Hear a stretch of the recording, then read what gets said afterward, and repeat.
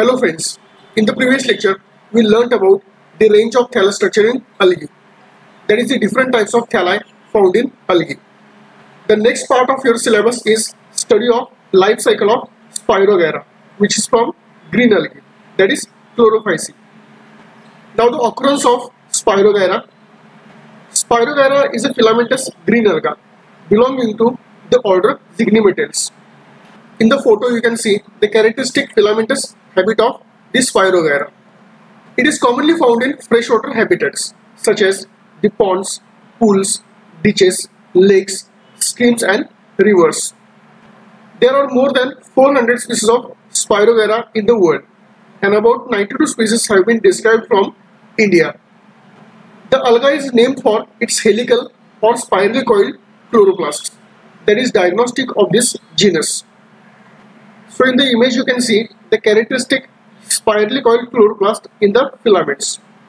So the alga can be easily identified on account of this spirally coiled chloroplast. The filaments are approximately 10 to 100 micrometer in width and may stretch up to several centimeters in length. So you can see the long filaments of this Spirogyra which may stretch up to several centimeters in length. And regarding the width of the filaments, it is about 10 to 100 micrometers. Masses of Spirogyra in water release large amount of oxygen. Spirogyra is very common in relatively clean eutrophic waters, developing slimy filamentous green masses over the water surface. In spring, Spirogyra grows underwater, but when there is enough sunlight and warmth, they produce large amount of oxygen, which adhere as bubbles between the tangled filaments.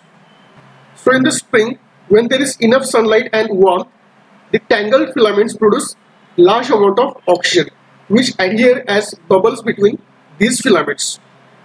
The filamentous masses soon come to the surface and become visible as slimy green mats. The two other algae, that is Mougeotia and Zygnema, are also found often tangled with the masses of Spirogyra. Now detailed structure of the Spirogyra filament.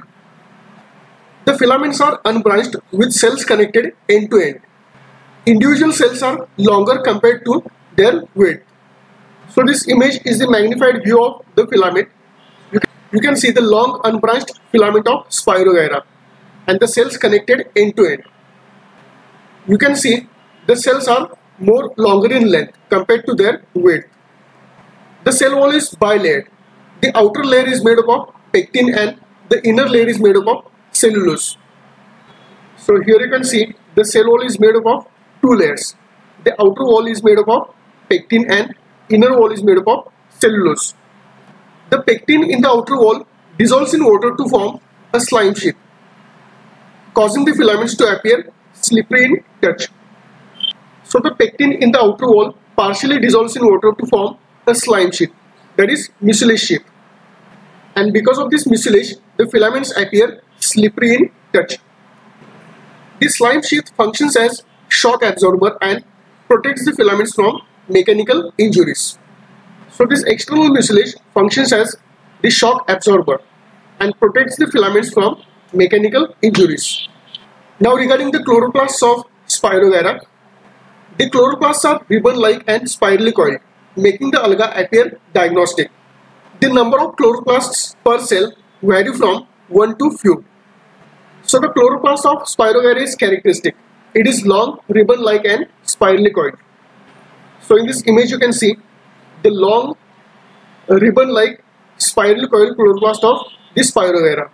Actually, this Spirogyra is named after this spirally coiled chloroplast.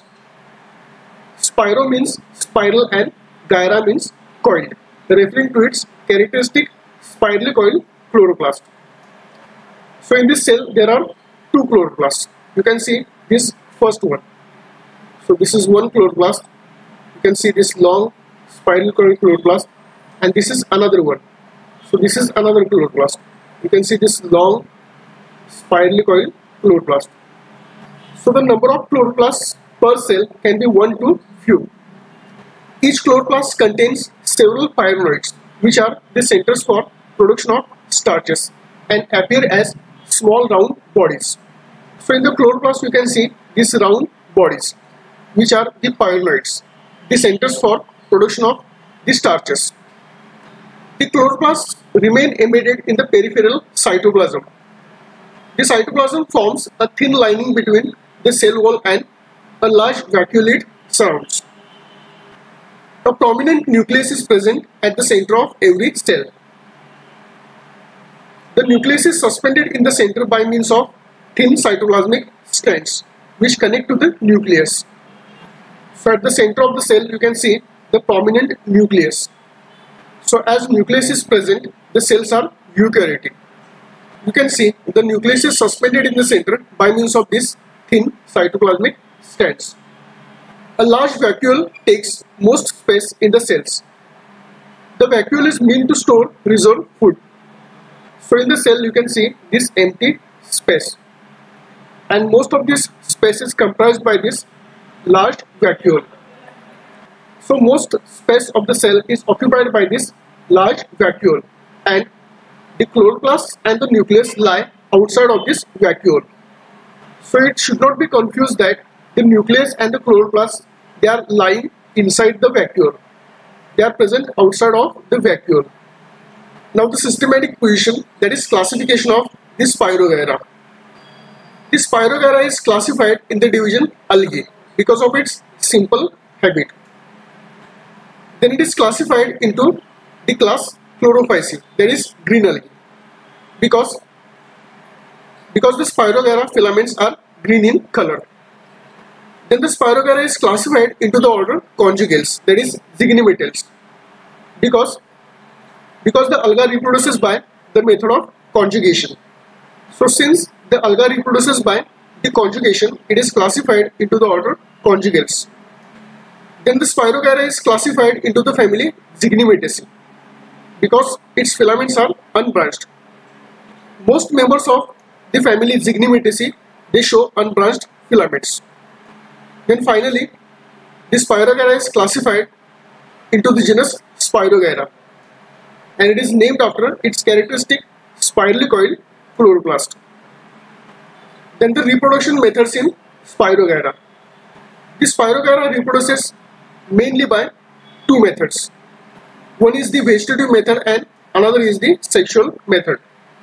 The vegetative reproduction takes place by the process of fragmentation in which the filaments of Spirogyra they break into pieces and the broken pieces they grow into new filaments through cell division. Then sexual reproduction occurs by the process of conjugation. The conjugation can be of two types. One is this scalariform conjugation and the other is lateral conjugation. You will be discussing about the conjugation in detail in next lecture.